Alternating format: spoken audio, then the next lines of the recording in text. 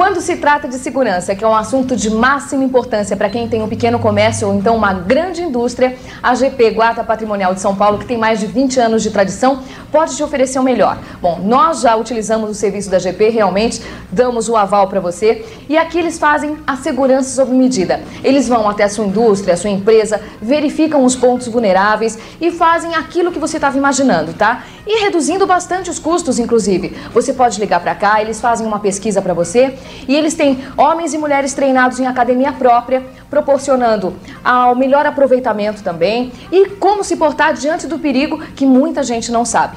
Então confie no serviço de quem sabe que faz, que é a GP, Guarda Patrimonial de São Paulo.